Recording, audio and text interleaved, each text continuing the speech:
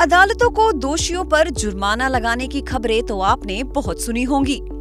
लेकिन क्या कभी ये सुना है कि किसी कोर्ट ने दोषी को अपने पास से पैसे दिए हों? सुनने में ये आपको अजीब लग रहा होगा, लेकिन ऐसा हकीकत में हुआ है।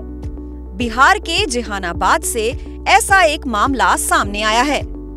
यहाँ जज साहिब ने ऐसा कारनामा कर दिया कि लोग उनकी मिसाल देते नहीं थक रहे हैं। दरअसल, कुछ हुआ यूँ कि जज राकेश कुमार सिंह बैंक के कर्ज के एक मामले की सुनवाई कर रहे थे। बैंक से कर्ज लेकर पैसे नहीं चुकाने का आरोप एक बुज़ुर्ग किसान पर था। जब जज साहिब मामले की सुनवाई कर रहे थे तो बुज़ुर्ग किसान ने कहा कि, साहिब, बेटी की शादी के बाद से कर्ज में डूबा हुआ हूँ। किसी तरह जीवन का गुजर बसर कर रहे हैं। इतने पैसे नहीं हैं कि बैंक वालों का कर्ज चुका सकूँ। ये कहते हुए बुज़ुर्ग किसान भावुक हो गए और रोने लगे।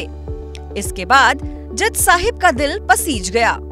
रोते हुए किसान की पूरी बात जज राकेश कुमार ने पूरी तसल्ली के साथ सुनी।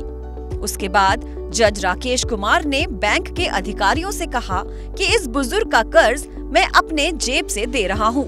इसके बाद जज साहिब ने अपने जेब से दस हज़ार छह सौ रूपए निकाले और बैंक अधिकारियों को सौंप दिया।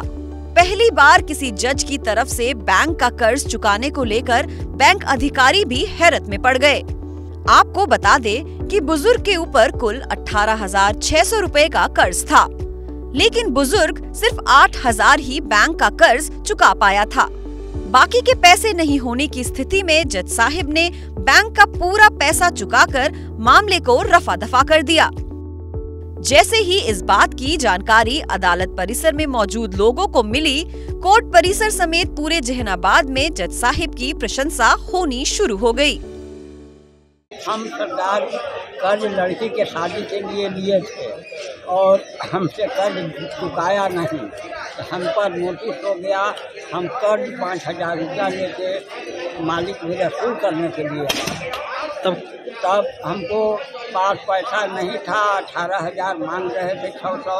जज साहब आ गए जज साहब ने हमको मदद किया कि हम दस हज़ार दे देंगे गरीब ब्राह्मण को। पाँच हज़ार आप दिए? हाँ। और तीन हज़ार और कौन दिया? तीन हज़ार हम लोग लड़का ही का है गाँव घर के से दिए बाकी दस दस हज़ार? दस हज़ार जज साहब। दिए जज साहब क्या कहेंगे जज साहब को आप?